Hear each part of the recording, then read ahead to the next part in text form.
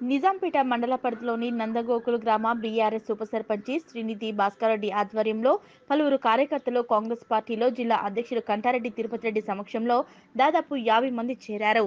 ఈ సందర్భంగా కంటారెడ్డి తిరుపతి రెడ్డి మాట్లాడుతూ మెదక్ ఎమ్మెల్యే పద్మా దేవేందర్ రెడ్డి ఇచ్చిన హామీలను నెరవేర్చలేదని డబుల్ బెడ్రూమ్ ఇళ్ళను కట్టించలేకపోయారని ఆమె మాత్రము ఇరవై కోట్లతో ఇల్లు కట్టుకుని వెయ్యి ఎకరాల భూమి సంపాదించుకుందన్నారు.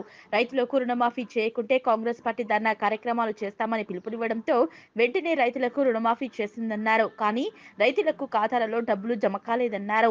కాంగ్రెస్ పార్టీ అధికారంలోకి రాగానే సంక్షేమ పథకాలను ప్రవేశపెడతామని రెండు లక్షల రుణమాఫీ చేస్తామని ఎస్సీ డిక్లరేషన్ పూర్తి చేస్తామని అదేవిధంగా ఎస్టీ బీసీ డిక్లరేషన్ను చేస్తామన్నారు. మైనార్టీ డిక్లరేషన్ కూడా చేస్తామన్నారు. ఎస్సీ ఎస్టీలకు ఇంటి స్థలంతో పాటు ఆరు లక్షల వరకు ఇంటి నిర్మాణం కోసం ఇస్తామన్నారు. ఎక్కడ స్థలం ఉన్నా బీసీలకు ఐదు లక్షల వరకు ఇంటి నిర్మాణానికి ఇస్తామన్నారు. మహిళలకు కర్ణాటక తరహాలో బస్సు ప్రయాణం చేయడానికి ఉచిత సౌకర్యం కల్పిస్తామన్నారు. మండలంలోని వివిధ గ్రామాల్లోని ఆయా పార్టీల కార్యకర్తలు కాంగ్రెస్ పార్టీలో చేరడానికి సిద్ధంగా ఉన్నారన్నారు. ఈ కార్యక్రమంలో మండల అధ్యక్షులు బక్కన్నగారి లింగంగౌడ్ జిల్లా కార్యదర్శి పంజా మహేందర్ మండల ఉపాధ్యక్షులు అందేస్వామి కాంగ్రెస్ పార్టీ జిల్లా సేవాదల్ అధ్యక్షులు మల్సూదన్ రెడ్డి శ్రీనివాస్ గౌడ్ ఎండి నజీరుద్దీన్ మండల యువజన కాంగ్రెస్ అధ్యక్షులు వినోద్ పంజాబ్ బాబు లక్ష్మాగౌడ్ వెంకట్ రాంపూర్ ఉప సర్పంచ్ నర్సింగ్లు ఎండి సులేమాన్ తదితరులు పాల్గొన్నారు. రైతులందరికి మేము కూడా ఒకటే చెప్తా ఉన్నాం. ఎవ్వరు బాకీ ఉన్న బ్యాంకులలో కట్టవలసిన అవసరం లేదు. కాంగ్రెస్ పార్టీకి ఒక రెండు రెండు మూడు నెలల్లో అధికారంలోకి రాబోతుంది. కాంగ్రెస్ పార్టీ అధికారంలో రాగానే మొట్టమొదటి సంతకం.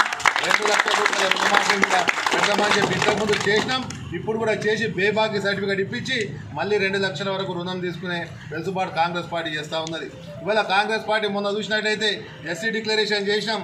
ఎస్టీ డిక్లరేషన్ చేసినాం మహిళా డిక్లరేషన్ చేసినాం యూత్ డిక్లరేషన్ చేసినాం రైతు డిక్లరేషన్ చేసినాం. ఇంకా రాబోయే రోజులలో మహిళా డిక్లరేషన్ ఉంది మైనార్టీ డిక్లరేషన్ ఉంది బీసీ డిక్లరేషన్ ఉంది.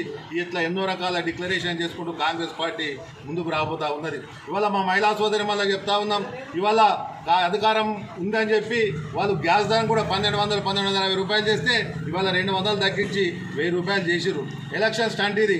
కానీ కాంగ్రెస్ పార్టీ ఎప్పుడో హామీ ఇచ్చింది. ప్రియాంక గాంధీ గారు వచ్చి హామీ ఇచ్చారు. కాంగ్రెస్ పార్టీ అధికారంలోకి రాగానే మళ్ళీ ఐదు వందల రూపాయలకి గ్యాస్ వస్తుందని చెప్పి కాంగ్రెస్ పార్టీ చెప్తా ఉన్నది.